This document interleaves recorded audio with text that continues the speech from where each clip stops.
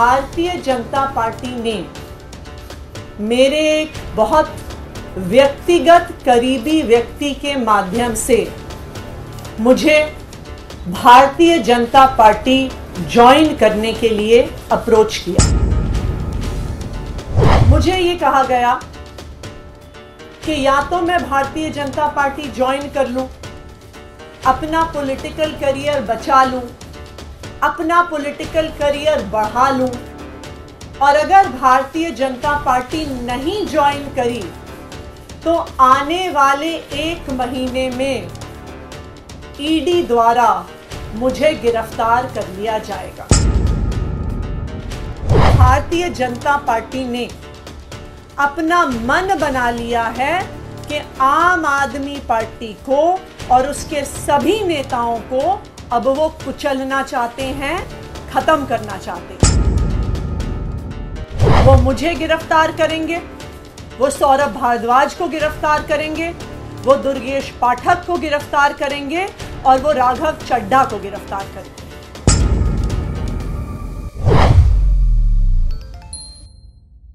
ਸਤਿ ਸ਼੍ਰੀ ਅਕਾਲ D5 channel Punjabi ਦੇਖ ਰਹੇ ਸਾਰੇ ਦਰਸ਼ਕਾਂ ਦਾ ਮੈਂ ਧਰਮਿੰਦਰ ਸੰਧੂ ਸਵਾਗਤ ਕਰਦਾ ਹਾਂ।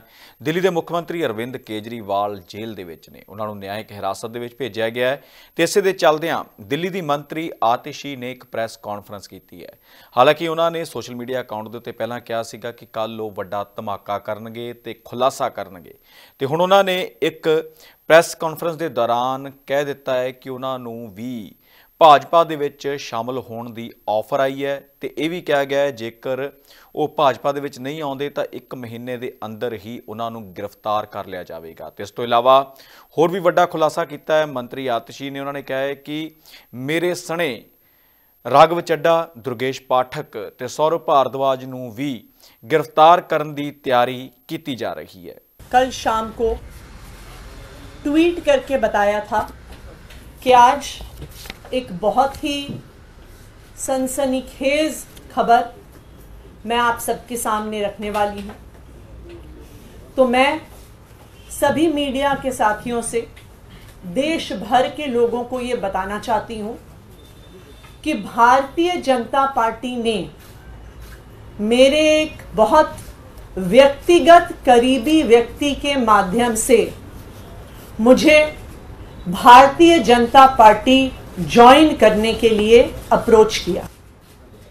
मुझे ये कहा गया कि या तो मैं भारतीय जनता पार्टी ज्वाइन कर लूँ, अपना पॉलिटिकल करियर बचा लूँ, अपना पॉलिटिकल करियर बढ़ा लूँ और अगर भारतीय जनता पार्टी नहीं ज्वाइन करी तो आने वाले एक महीने में ईडी द्वारा मुझे गिरफ़्तार कर लिया जाएगा।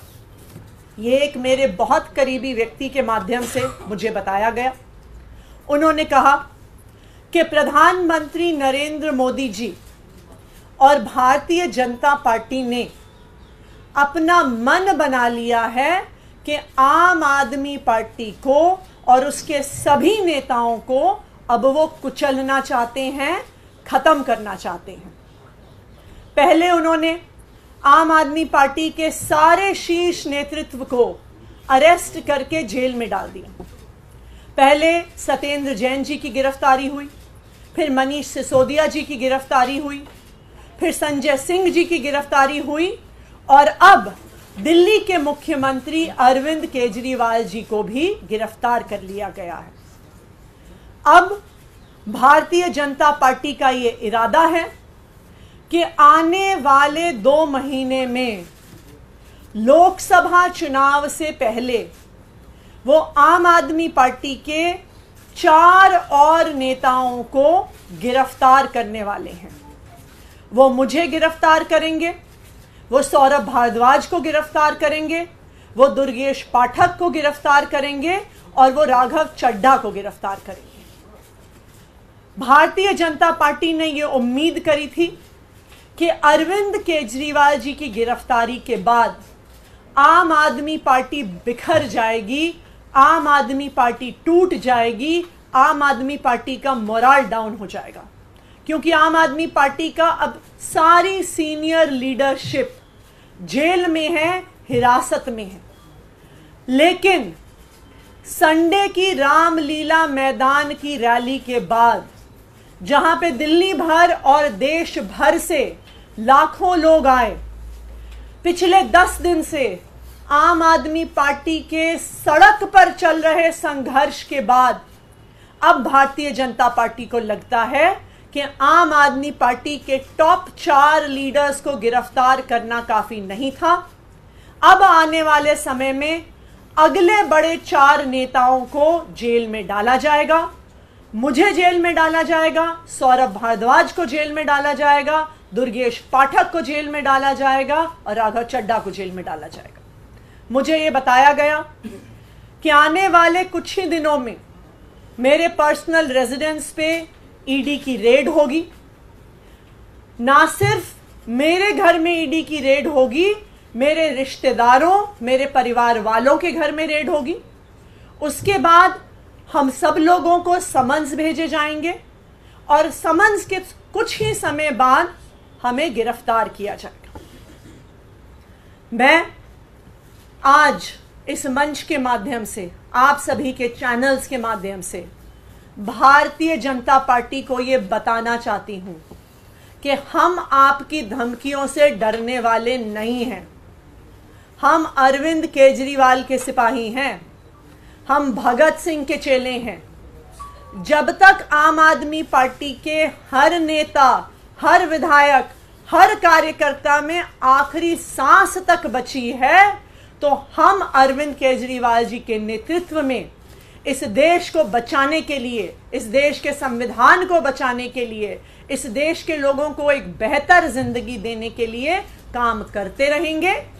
आप चाहे एक एक आदमी को उठा के जेल में डाल दो, आप चाहे एक एक विधायक को उठा के जेल में डाल दो आप चाहे एक एक कार्यकर्ता को उठा के जेल में डालो, आप हर व्यक्ति जिसको आप जेल में डालोगे, उसकी जगह दसों और लोग अरविंद केजरीवाल जी की इस लड़ाई को लड़ने के लिए सामने आएँगे और आपको हरा के रहेंगे। दस दी किस्त तो पहला ਦਿੱਲੀ ਦੇ ਮੁੱਖ ਮੰਤਰੀ ਅਰਵਿੰਦ ਕੇਜਰੀਵਾਲ ਸਣੇ ਕਈ ਲੀਡਰ ਜੇਲ੍ਹ ਦੇ ਵਿੱਚ ਨੇ। ਨਿਆਇਕ ਹਿਰਾਸਤ ਦੇ ਵਿੱਚ ਚੱਲ ਰਹੇ ਨੇ। ਲਗਾਤਾਰ ਉਹਨਾਂ ਦੀਆਂ ਪੇਸ਼ੀਆਂ ਹੋ ਰਹੀਆਂ ਨੇ ਸੁਣਵਾਈਆਂ ਹੋ ਰਹੀਆਂ ਨੇ ਪਰ ਰਾਹਤ ਮਿਲਦੀ ਦਿਖਾਈ ਨਹੀਂ ਦੇ ਰਹੀ। ਤੇ ਹੁਣ ਮੰਤਰੀ ਆਤਿਸ਼ੀ ਨੇ ਵੀ ਵੱਡਾ ਖੁਲਾਸਾ ਕਰ ਦਿੱਤਾ ਹੈ। ਹੁਣ ਦੇਖਣਾ ਹੋਵੇਗਾ ਕਿ ਇਸ ਦਾਅਵੇ ਦੇ ਵਿੱਚ ਕਿੰਨਾ ਕੁ ਸੱਚ ਹੈ। ਨਿਡਰ ਹਾਂ ਨਿਰਪੱਖ ਰਹਾਂਗੇ। ਆਜ਼ਾਦ ਹਾਂ ਸੱਚ ਕਹਾਂਗੇ। ਗੱਲ ਕਰਾਂਗੇ ਸਿਆਸੀ ਹਵਾ ਦੀ। ਹੋਣਗੇ ਹੁਕਮਰਾਨਾਂ ਨੂੰ ਸਿੱਧੇ ਸਵਾਲ। ਸਭ ਤੋਂ ਪਹਿਲਾਂ ਪਹੁੰਚਾਵਾਂਗੇ ਤੁਹਾਡੇ ਤੱਕ ਸਿਰਫ ਸੱਚੀ ਖਬਰ। ਦੱਸਾਂਗੇ ਕੌਣ ਕਰ ਰਿਹਾ ਹੈ ਤੁਹਾਡੇ ਤੇ ਸਬਰ। ਵਿਦੇਸ਼ਾਂ 'ਚ ਬੈਠੇ ਪੰਜਾਬੀਆਂ ਦੇ ਹੱਕ ਦੀ ਕਰਾਂਗੇ ਗੱਲ। ਕੈਨੇਡਾ ਦੀ ਹਰ ਸਿਆਸੀ ਖਬਰ ਲੈ ਕੇ ਆਵਾਂਗੇ ਤੁਹਾਡੇ ਵੱਲ। ਉਭਰਾਂਗੇ ਪੰਜਾਬ ਦੀ ਆਵਾਜ਼ ਬਣ ਕੇ। ਹੋਣਗੇ ਹਰ ਪਹਿਲੂ ਤੇ ਰੋਜ਼ ਚਰਚੇ। ਖੋਲਾਂਗੇ ਅੰਦਰੂਨੀ ਰਾਜ। ਬਣਾਂਗੇ ਬੁਲੰਦ ਆਵਾਜ਼। ਖੇਡ ਸਿੱਖਿਆ ਸਿਹਤ ਖੇਤੀ ਦੀ ਬਾਤ ਪਾਵਾਂਗੇ। ਹਰ ਪਿੰਡ ਹਰ ਸ਼ਹਿਰ ਜਾਵਾਂਗੇ ਮਨੋਰੰਜਨ ਨਾਲ ਜੁੜੇ ਕਲਾਕਾਰਾਂ ਨਾਲ ਕਰਵਾਵਾਂਗੇ ਮੁਲਾਕਾਤ ਸੰਘਰਸ਼ਾਂ ਵਾਲੀ ਜ਼ਿੰਦਗੀ ਤੇ ਮਾਰਾਂਗੇ ਝਾਤ ਕੀ ਨੇ ਸਾਡੇ ਕਾਨੂੰਨ ਫਰਜ਼ ਤੇ ਅਧਿਕਾਰ ਕੀ ਕਰਦੀ ਹੈ ਸਾਡੀ ਸਰਕਾਰ ਕੀ ਹੈ ਤੁਹਾਡੀ ਮੁਸ਼ਕਲ ਦਾ ਹੱਲ D5 ਚੈਨਲ ਪੰਜਾਬੀ ਦੀ ਕਚਹਿਰੀ 'ਚ ਹੋਵੇਗੀ ਸਿਰਫ ਲੋਕਾਂ ਦੀ ਗੱਲ धर्म धरोहर सेहत और संस्कृति की होगी बात अब D5 ਚੈਨਲ ਹਿੰਦੀ ਵੀ ਹੋਗਾ ਸਰ D5 ਚੈਨਲ ਪੰਜਾਬੀ ਆਪਣੀ ਧਰਤੀ ਆਪਣੇ ਲੋਕ ਸਤਿ ਸ਼੍ਰੀ ਅਕਾਲ ਜੀ, ਮੈਂ ਹਾਂ ਕੁਲਰਾਜ ਰੰਦਾਵਾ ਤੇ ਤੁਸੀਂ ਵੇਖ ਰਹੇ ਹੋ D5 ਚੈਨਲ ਪੰਜਾਬੀ, ਜਿਹੜਾ ਲਾਂਚ ਹੋ ਚੁੱਕਾ ਹੈ ਹੁਣ ਕੈਨੇਡਾ ਵਿੱਚ।